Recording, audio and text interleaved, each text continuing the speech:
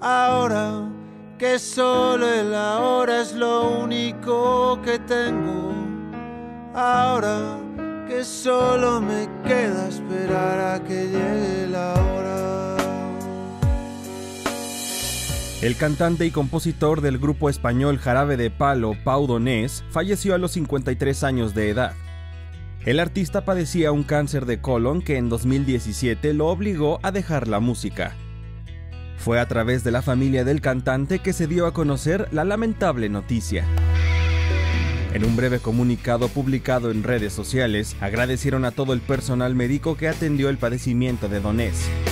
En marzo de este año, Pau Donés había anunciado su regreso a la escena musical con un nuevo disco, Tragas o Escupes.